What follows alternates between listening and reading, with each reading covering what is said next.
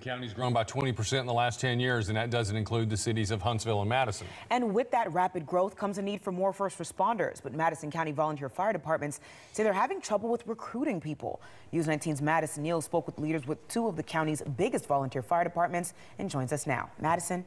That's right, Siobhan. Any tax-paying citizen would assume if they call for help, somebody's going to be there. But Madison County residents outside of Huntsville and Madison rely on 16 volunteer fire fire departments. Leaders of those departments tell me they're getting desperate for more help. The, the need is definitely there. Uh, I mean, we're, we're facing a struggle each and every day. Volunteer fire and rescue departments across Madison County need your help. We still get uh, people within our community um, that have no idea that we're volunteer.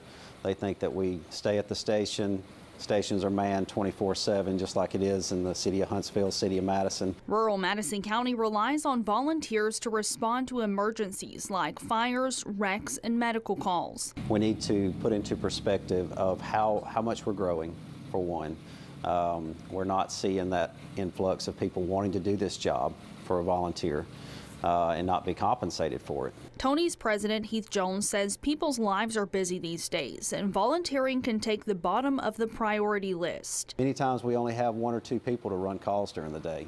We're talking about 32 square miles of our fire district with two people. But experience shouldn't be a barrier. Uh, we provide all the training that you will need, all of your personal protective equipment, um, and we send you to all your training um, through the Alabama Fire College. Peyton Daly with Moores Mill says they just need your time. If you can give me weekends, I'll take the weekends. If you can give me, you know, days during the week, a few hours here and there, I'm perfectly okay with it. Daly started volunteering at 15 years old and encourages young people to get involved. So he got me in the door at Hemsey.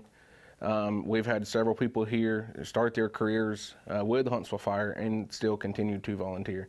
So the opportunities are there if you want them. And a majority of the 16 departments across Madison County have a website or social media presence where you can apply online and get involved. We have the links to those on our website, WHNT.com.